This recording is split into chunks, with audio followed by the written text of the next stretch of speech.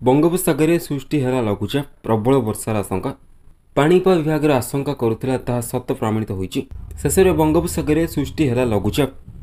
ଏହା ଉତ୍ତର ପଶ୍ଚିମ ପରବର୍ତ୍ତୀ ପଶ୍ଚିମ କେନ୍ଦ୍ରୀୟ ବଙ୍ଗୋପସାଗର ତତ୍ସଲଗ୍ନ। ଦକ୍ଷିଣ ଓଡ଼ିଶା ଏବଂ ଉତ୍ତର ଆନ୍ଧ୍ରପ୍ରଦେଶ ଉପକୂଳସ୍ଥ ସମୁଦ୍ର ମଧ୍ୟରେ ସୃଷ୍ଟି ହୋଇଛି ଏହା ସହ ଜଡ଼ିତ ଘୂର୍ଣ୍ଣିବଳୟ ବାୟୁମଣ୍ଡଳରେ ସେଭେନ୍ ପଏଣ୍ଟ ସିକ୍ସ କିଲୋମିଟର ଯାଏଁ ବ୍ୟାପିଛି ବୋଲି ଭୁବନେଶ୍ୱର ବିଭାଗ କହିଛି ତେବେ ଏହି ଲଘୁଚାପ ଯୋଗୁଁ ରାଜ୍ୟରେ ତିନି ଦିନ ଧରି ପ୍ରବଳ ବର୍ଷା ହେବାର ସମ୍ଭାବନା ରହିଛି ତେବେ ଏହି ଲଘୁଚାପ ପରବର୍ତ୍ତୀ ସମୟରେ କ'ଣ ହେବ ତାହା ଜଣାପଡ଼ିନାହିଁ ଆସନ୍ତା ଚବିଶ ଘଣ୍ଟା ପରେ ରାଜ୍ୟରେ ବିସ୍ତୃତ ବର୍ଷା ଲାଗି ରହିବ।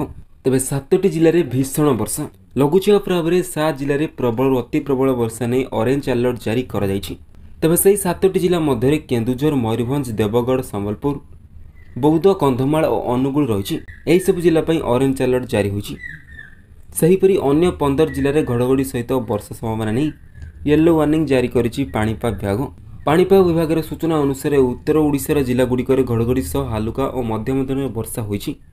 ସେହିପରି ଦକ୍ଷିଣ ଓଡ଼ିଶାର ଏକାଧିକ ସ୍ଥାନରେ ପ୍ରବଳ ବର୍ଷା ହୋଇଛି।